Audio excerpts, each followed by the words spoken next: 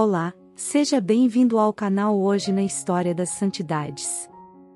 No vídeo de hoje, vamos conhecer a história de Santa Catarina de Sena, uma santa e mística católica italiana que viveu no século XIV.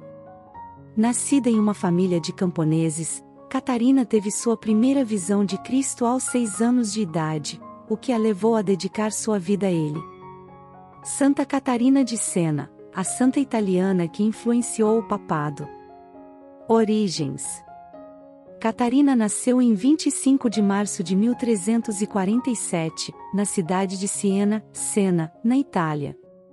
Filha de uma família muito pobre, ela foi uma entre os 25 filhos que seus pais tiveram. Por causa de toda essa situação, Catarina teve uma infância conturbada.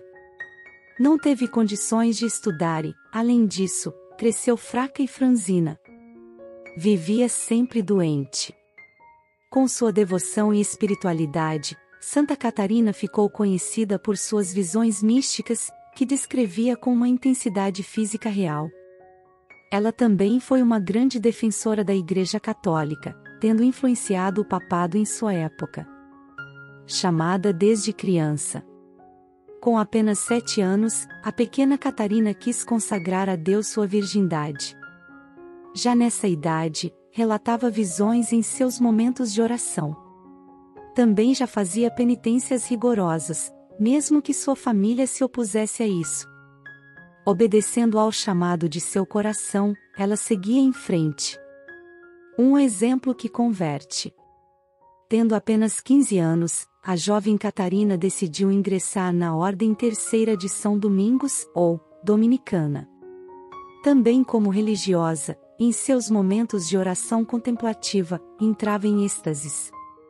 A simples observação desses fatos levou à conversão centenas de pessoas durante a juventude da santa. Analfabeta e mestra. Depois de adulta, Catarina de Sena continuou sua vida de oração e atuação na sociedade. Com o intuito de orientar o povo, e como não sabia escrever, ela passou a ditar cartas para as pessoas. Nessas cartas, ela orientava as atitudes conduzindo para a misericórdia e convocando a todos para o exercício da caridade, para o esforço pelo entendimento e pela paz. Influenciando os destinos da Igreja.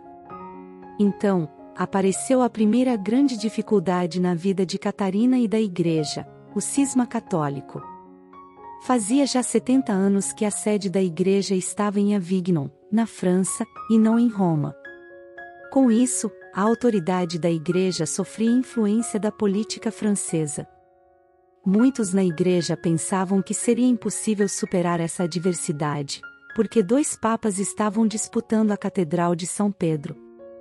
Com isso, o povo católico, em todo o mundo, sofria. Santa Catarina, porém, inspirada por Deus, começou a agir. Viajou pela Itália inteira e também por outros países, falando, pregando, ditando cartas aos reis, aos príncipes e aos governantes católicos. Também ditou cartas aos cardeais e aos bispos.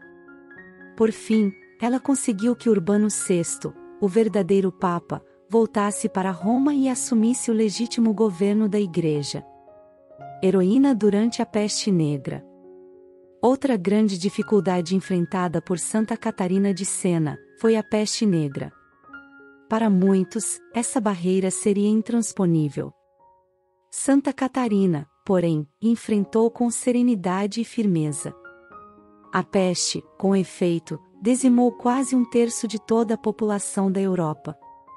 Santa Catarina colocou-se ao lado dos doentes, lutando por eles e curando a muitos através de ações diretas e de suas orações. Seu exemplo de amor e misericórdia converteu centenas de pagãos e deixaram seus contemporâneos perplexos. Analfabeta e doutora da Igreja. Em meio a todas essas turbulências em sua vida, Santa Catarina de Sena conseguiu deixar obras literárias extraordinárias, ditadas por ela, escritas e editadas por vários copistas. Sua obra é de grande valor histórico, espiritual, religioso e místico. Um de seus livros mais importantes é o Diálogo sobre a Divina Providência. Esta obra é lida, estudada e respeitada até os dias de hoje. No seu tempo, teólogos famosos viajavam de longe para ouvir as pregações e meditações de Santa Catarina de Sena, por causa de sua grande sabedoria, profundidade teológica e poder da palavra.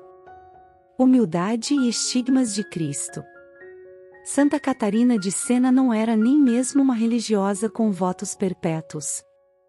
Era apenas uma simples irmã leiga da Ordem Terceira dos Dominicanos. Porém, apesar de analfabeta, ela é considerada a mulher cristã mais impressionante do segundo milênio. Frágil, simples, além de toda a sabedoria de Deus, ela portava em seu corpo franzinos estigmas, ou seja, as chagas da paixão de nosso Senhor Jesus Cristo.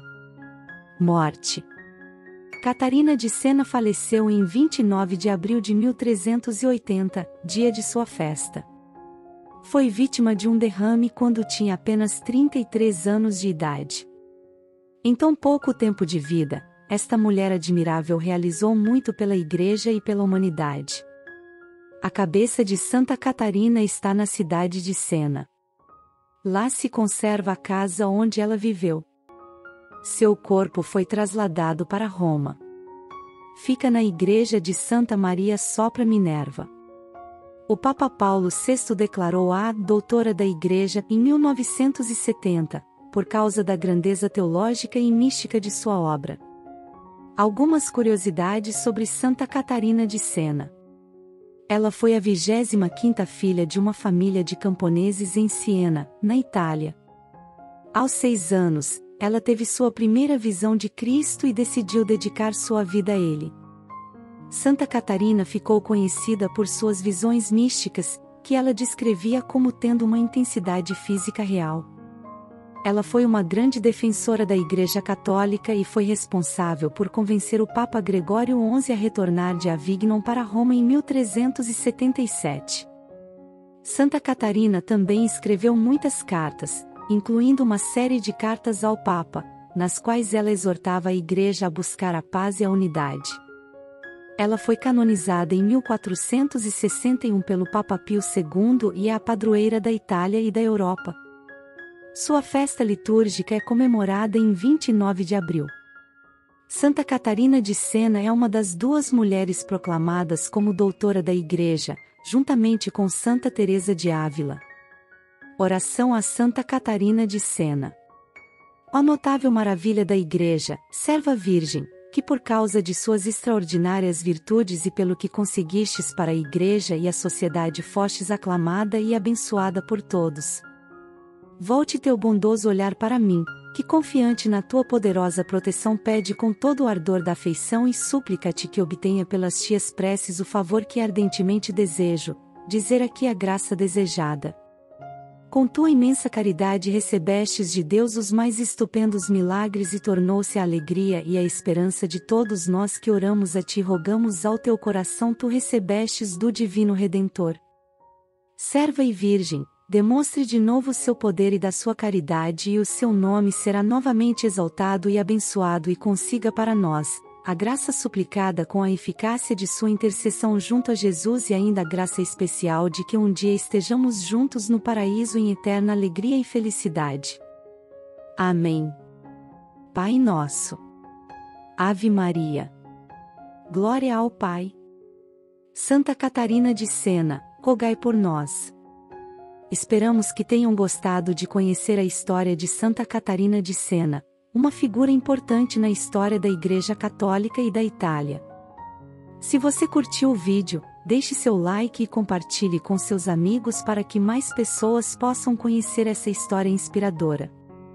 Não se esqueça também de se inscrever em nosso canal Hoje na História das Santidades para não perder os próximos vídeos sobre outras personalidades da história da Igreja Católica. Até o próximo vídeo.